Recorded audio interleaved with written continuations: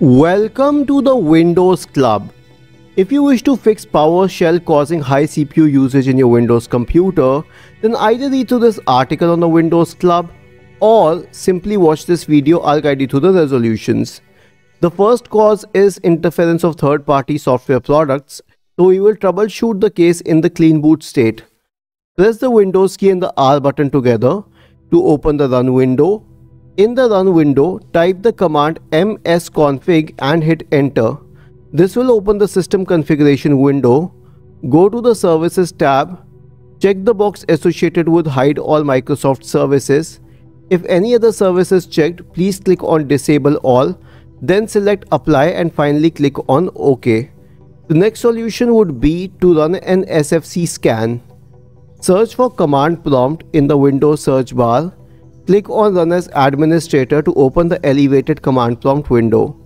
In the elevated command prompt window, type the command sfc space forward slash scan now and hit enter to invoke the sfc scan. Once the scan has completed, you would have to reboot the system. After this, you can check for virus and malware either using Windows Defender or using any reputed third-party software product. To run the virus and scan tool, search for virus in the Windows search bar and click on this option for virus and threat protection. This will open the Windows security option and then select quick scan here.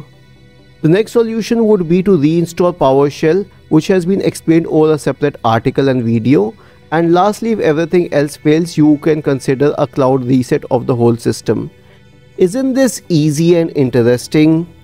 If you have any doubts, Please go to the original article on the Windows Club, scroll down to the comment section and write your query. We will surely answer to it.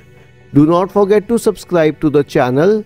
Thank you for watching this video. Have a nice day.